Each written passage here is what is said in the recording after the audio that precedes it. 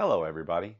I'm Pastor Steve, and uh, thanks for taking time to, to join me here today as we as we share some scripture and we share a message. And this week we're going to start, and we're in the book of John. We're uh, going to be in chapter 2, verses 1 through 11.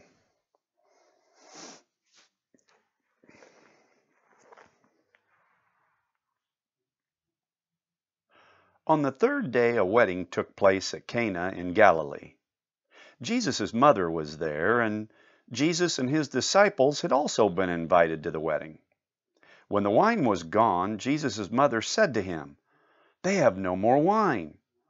Dear woman, why do you involve me? Jesus replied, My time has not yet come. His mother said to the servants, Do whatever he tells you. Nearby stood six stone water jars, the kind used by the Jews for ceremonial washing, each holding from 20 to 30 gallons. Jesus said to the servants, Fill the jars with water. So they filled them to the brim. Then he told them, Now draw some out and take it to the master of the banquet. They did so, and the master of the banquet tasted the water that had been turned into wine. He did not realize where it had come from, though the servants who had drawn the water knew. Then he called the bridegroom aside and said, Everyone brings out the choice wine first, and then the cheaper wine after the guests have had too much to drink. But you have saved the best till now. This, the first of his miraculous signs, Jesus performed at Cana in Galilee. He thus revealed his glory, and his disciples put their faith in him. And this is the word of God for the people of God. And uh, I, I'm sure I can hear the people out there saying, Thanks be to God. Pray with me, please. Oh Lord, may the words from my mouth and the, the meditations of all of our hearts together, may it not only be acceptable, but may it be pleasing to you you who are our rock and our Redeemer. Today's sermon title is 2022. In Cana there was a wedding feast, and, and it seems Mary had something to do with the arrangements because she was worried when the wine ran out. And she had authority enough to ask the servants to do whatever Jesus told them to do. Some think that the groom was none other than John himself, and, and that his mother was Salome, the sister of Mary. It's interesting to note that there is no mention of Jesus' father Joseph at this point. Most scholars think the reason is that Joseph was dead by this time, and that this is one of the reasons why Jesus spent 18 long years in Nazareth. Jesus took it upon himself to support his mother and his family and, until his brothers and sisters were old enough to, to look after themselves.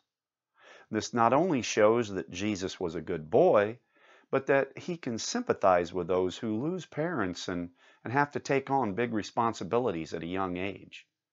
In any event, Jesus and his disciples are invited to this wedding feast.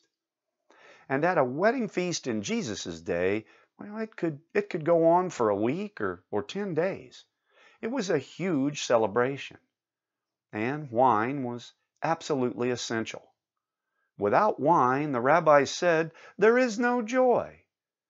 So imagine the terror that would have shot through Mary's veins when, when she was told that the wine was all gone. How could she let her sister down on the biggest day of her life? So Mary went to Jesus to tell him what was wrong. Then she said to the servants, Do whatever he tells you. It's been said that Mary's words to Jesus are, are, pertinent, are pertinent to us all today. Do whatever he tells you. Isn't that the key to life? If we want God to move in our lives, we must be prepared to do what he says. Now, it's not always easy and it will probably take a lot of missteps and mistakes to get it right, if we ever do. But when and if we do, we will find ourselves living within a miracle. So the, the servants take Mary's words seriously. Do whatever he tells you. We're told that nearby six stone water jars, the kind used by the Jews for ceremonial washing, each holding from 20 to 30 gallons. Jesus said to the servants, Fill the jars with water. So they filled them to the brim. And when they took some out to the master of ceremonies, he tasted the wine that had been turned, or the water that had been turned into wine. And it was the best, the absolute most choice wine he'd ever tasted. Jesus turning ordinary water into the best of wines signals to us the effect that Jesus can have and, and does have on people's lives. There can be no doubt that throughout history, the influence Jesus has had on the lives of people is, has never been surpassed. No other great leader has inspired so many positive changes in the lives of, of his or her followers people who encounter the risen Christ are totally transformed.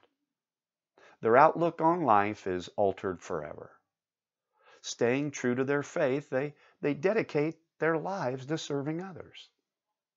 I have no doubt that the decision to follow Jesus Christ, to do what he says, is the single most important thing a human being can ever do.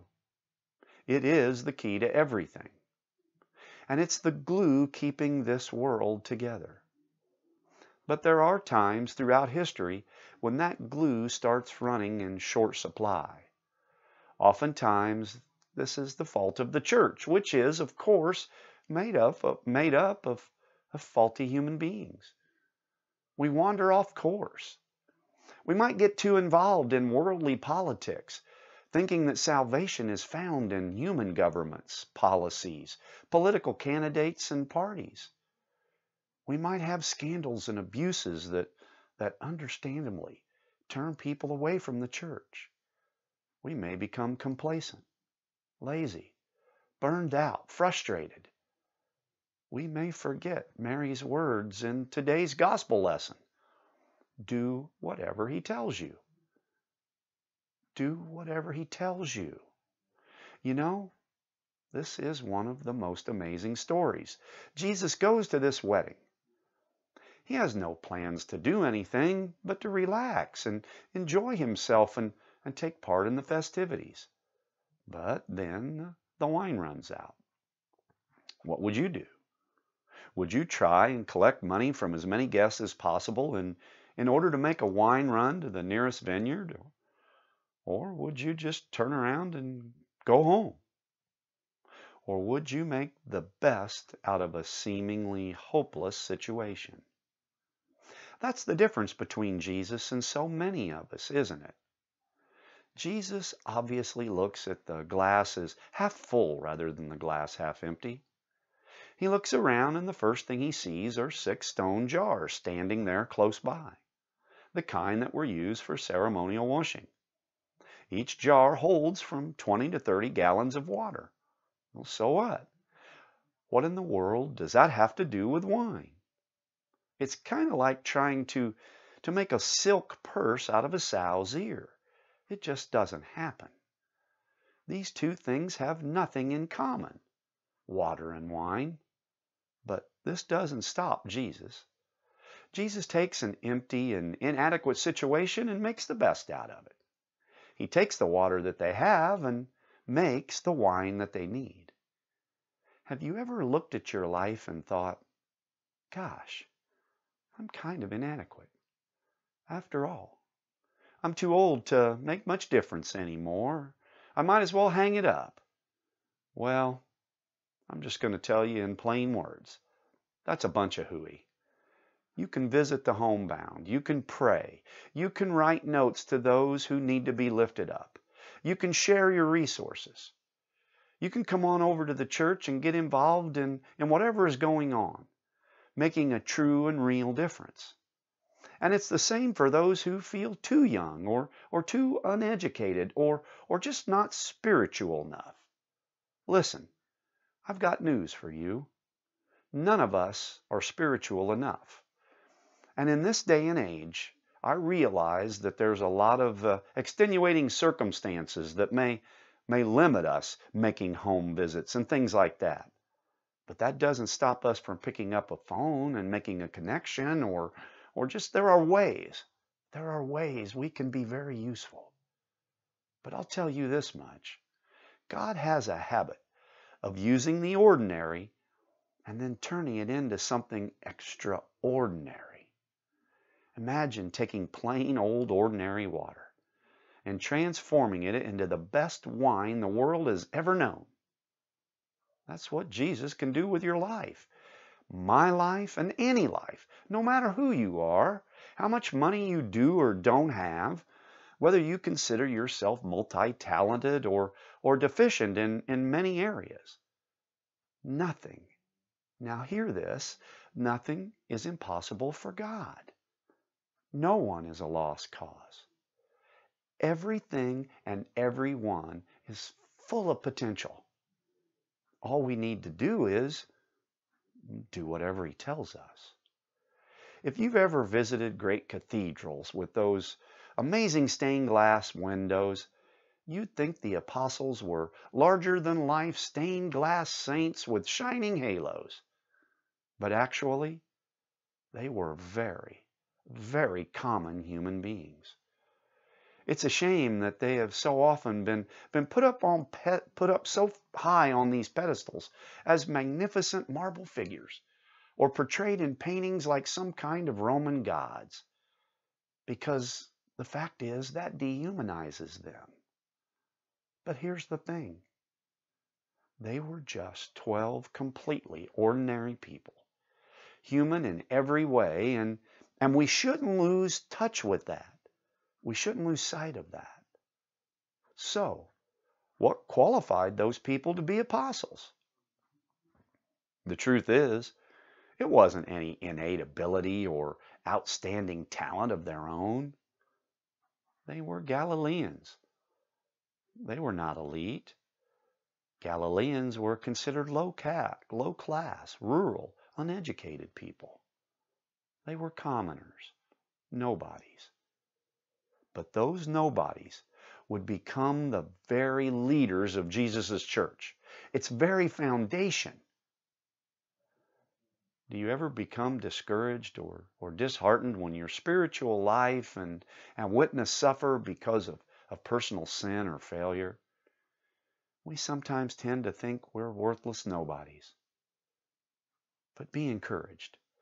Worthless nobodies are just the kind of people that God uses. If you think about it, that's all he has to work with. And that's because we're all pretty much the same. We're all in the same boat. No one is really any better than anyone else. Now, 2021 was another interesting year in the life of, of the church, wasn't it? We are involved in our community in ways that that I can only dream about, really. God uses us, normal, everyday people, to do some pretty extraordinary things. Just think about that. We have many ministries that, that actually touch people where they live, affecting their daily lives. I know that the, the churches that I serve they, they've got food pantries and they've got Bible studies and they've got after school programs. And, and the fact of the matter is, those two churches combined in one night, in one night, raised $1,100 for a local family that, that's in need. And that's just one example of, of how we do our very best to reach out to those in need. We're going to reach out to people who may not know Christ yet, offering them that same grace and love and, and compassion that He's shown us. We are known in the communities we serve, and, and we're going to become even more known. God is working through you. I love the part in our gospel lesson where the master of ceremonies, not knowing anything at all about what's going on, takes the bridegroom aside and says, Everyone brings out the choice wine first, and, and then the cheaper wine after the guests have had too much to drink. But you, you have saved the best till now. some naysayers may look at the decline in, in memberships in churches over the past few decades and, and say, well, the best is in the past, or, and I've, I've heard this, I've said this. I wish we could return to the good old days of the past. But you know what? God knows what God is doing. We can trust Him. And our community is, is changing. Lots of things are changing. But one thing that does seem to remain somewhat constant there are lots, there are lots of unchurched folks who, who live right in our neighborhoods. Many of them are lonely. Lots of people are looking for places where they can connect, where they can find other people who bring meaning and laughter and, and fun into their lives. Jesus was perfectly at home, just rejoicing at a party. There is no reason why cheerfulness, openness, and overflowing love and generosity should not be one of the main attributes of His people. There is no reason why His church shouldn't be one big celebration and party for God. People need meaning. They're searching for authenticity and they're begging the church to be authentic.